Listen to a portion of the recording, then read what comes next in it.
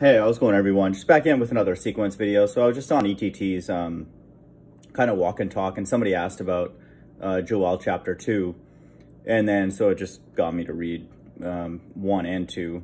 And then, um, you know, I found the sequence in 1 and 2. And so I've done a video where it's in 2 and 3. And so it, again, it's just looping over and over again. And so, again, I don't say this to be arrogant, but you can't give somebody an answer as to what is happening, you know, in a lot of books in the Bible if you don't understand, you know, the sequence because that's what's being looped, you know, over and over again. And then I think his answer was something about how that Northern Army is symbolic, but it's talking about America, you know, and so um, it's talking about how a great concentration of the deliverance um, of salvation will be from America, you know, and then this Northern Army that um, you know, represents America and it's going to be burned, you know, and then um, by uh, by the other nations, and then uh, it's a permanent destruction. And so that's why knowing this sequence helps understand where that fits, you know, in all of that. And so that verse is outside of what I'm going to go through here, but it's very clear that that's what it's talking about, you know, when you understand the sequence of the end times. So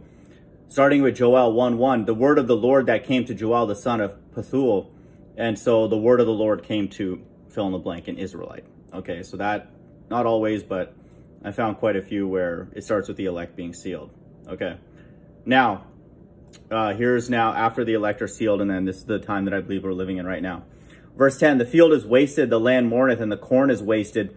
The new wine is dried up, the oil languisheth. So we see this, all these oil and gas prices and all that kind of stuff.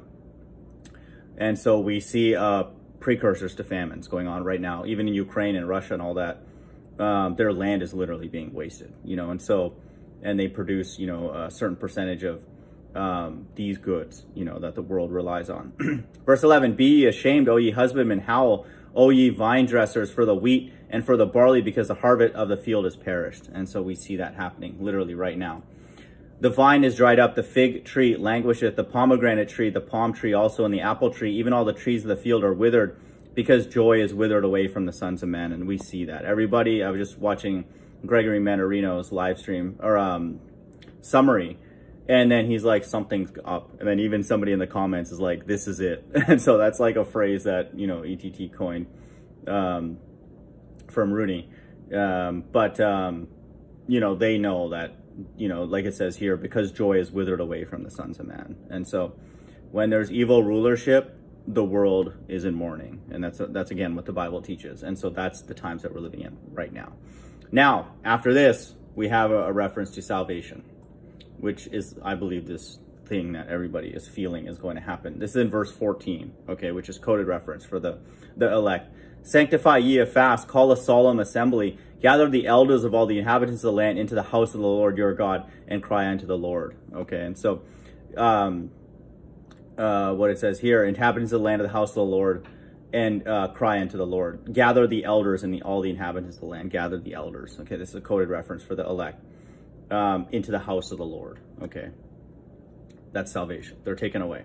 That's in verse 14. Now, after they're taken away, begins the wrath of God. Verse 15, Alas for the day, for the day of the Lord is at hand, and as destruction from the Almighty shall it come. And so now it's going to be very, very clear, you know, that this is coming from God directly, okay? and as a destruction from the Almighty shall it come. Verse 16, Is not the meat cut off before our eyes? Yea, joy and gladness from the house of our God. That's in verse 16. Now these are the plagues in Revelation 16 that are kicking off. Verse 17, the seed is rotten under their clods. The garners are laid desolate. The barns are broken down. The corn is withered. So God's going to start attacking the wildlife and the water. And then he's going to kick off a, a, a more broad famine worldwide. Verse 18, How do the beasts groan? The herds of cattle are perplexed because they have no pasture. Yea, the flocks of sheep are made desolate. Verse 19, O Lord, to thee I will cry, for the fire hath devoured the pastures of the wilderness, and the flame hath burned all the trees of the field. Verse 20, the beasts of the field cry out unto thee, for the rivers of water are dried up, and the fire hath devoured the pastures of the wilderness. So during this time, there's going to be fighting. You know, still, the wars and rumors are going to increase. And then what it says in 2nd Ezra is that when Christ reappears, which is what we're going to read next, they're going to stop that fighting and they're going to fight against God. Okay, so just expect the the birth pains, all the things to increase. You know, the the famines, the fighting, you know, amongst um, nations and all that kind of stuff. That's creating this fire when they shoot, you know, all those missiles and all that kind of stuff. So um, all these things are going to work towards um, greater and greater instability, of course, and then food shortages. So um, that's consistent. All of that stuff is just consistent with um, Revelation 16. Okay, now after the wrath of God, uh, which is Revelation 16, all the plagues, what do we get here? Joel 2 verse 1, blow ye the trumpet in Zion. This is talking about the elect. And sound an alarm in my holy mountain. Let all the inhabitants of the land trouble all the inhabitants. Okay, so now they're all going to collectively fight against God. For the day of the Lord cometh, for it is nigh at hand. Wait a minute, I thought that, um, you know, uh, the Christ only appears once.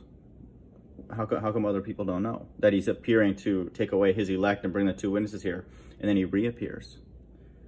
So that how come other people aren't teaching that? That's what Joel knows that, because he writes about it here.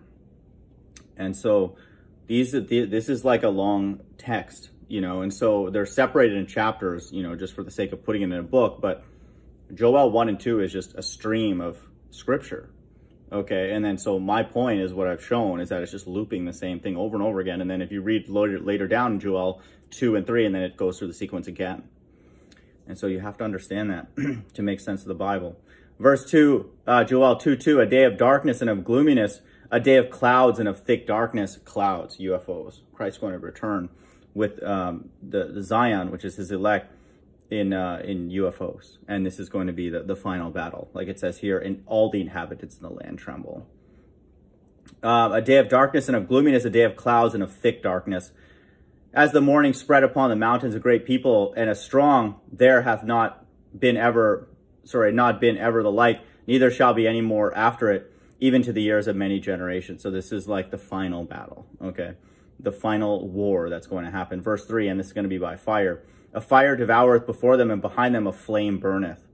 The land is as the Garden of Eden before them, and be behind them a desolate wilderness, yea, and nothing shall escape them. So this is in Isaiah 10, 18 and 19, Zephaniah 1, 18, Revelation 14, uh, Revelation 20, verse 14. This is the final fire. Okay. Matthew 10, 28, body and soul. The Bible says in Isaiah 10, he's going to burn everything. The child could count down how many trees that are left. That's referring to the trees and then the people. Okay. And the people that remain are the remnant that he'll protect. You have to read second Ezra to understand that. But uh, it's fire. Okay. In um, Joel 2, 3, verse 4, the appearance of them is as the appearance of horses, and as horsemen, so they shall run in the sky. Okay. It describes these UFOs sometimes as in having animal-like characteristics. Verse 5, like the noise of chariots. Here it's explicitly saying chariots on the tops of mountains. Okay, they're going to be high. When Christ says he's going to put the enemies beneath uh, the elect's feet, it's literal. It's going to be beneath their feet. Okay, like the noise of chariots on the tops of mountains shall they leap, like the noise of a flame of fire that devoureth the stubble, and as strong people set in battle array. So this fight, fight is going to be by fire. Okay, and it's permanent, body and soul. Um, verse 11, and the Lord shall utter his voice before his army, so his army is his elect. Okay. For his camp is very great, for he is strong that executeth his word. For the day of the Lord is great and very terrible, and who can abide in it? Okay, you cannot fight this. This is technology that no one understands. Because the people on this earth are retarded. Uh, verse 19, Yea, the Lord will answer and say unto his people, Behold, I will send you corn and wine and oil, and you shall be satisfied therewith, and I'll no more make you a reproach among the heathen. So that's a reference to the kingdom. Okay. So that's uh, that's a sequence. And then again, I just referenced the, you know the other video that I have posted. Um, it's been I, I, think it's been a while since I've done that one, but um, it just shows that if you go through Joel two and then three and then it goes through the sequence again. So it's like it's just looping it, you know, over and over again. And so the verse that that person was asking of is here in verse twenty, and it just shows that it's going through the sequence again. And so, but I will remove afar off from you the northern army and will drive him into a land barren and desolate with his face toward the east sea and his hinder part toward sorry and his hinder part toward the outmost sea and his stink shall come up and, and I'll and I'll and his I'll savor shall come up and his ill savor shall come up because he hath done great things. This is talking about a land that God is going to make barren and desolate in the last days. Okay, and then a group's going to be removed far off from that northern army, that north country. Okay, this is the headquarters of salvation. That's what that's what Joel's talking about in, in uh, 220. Okay, and then 2 plus 20 is 22. They have rulership over the whole earth. The number 22 is used to code, encode rulership over the entire earth, which is obviously America. Behold, I will remove you far off from the northern army and will drive him into a land barren and desolate. And uh, this has to be a place that's surrounded by water, like it says here, with his face toward the east sea and his hinder part toward the outmost sea, and his stink shall come up, and his ill savor shall come up because he hath done great things. So people are just going to be like uh, um, perplexed okay, that God just burned this place, okay, and it's permanent. It's desolate now. And so it just shows again that after verse 19 is going through the sequence again, okay, because that's a coded reference to salvation. So um, that's uh, Joel 1 and 2 encodes the sequence perfectly. Hope everyone's doing well. Bye.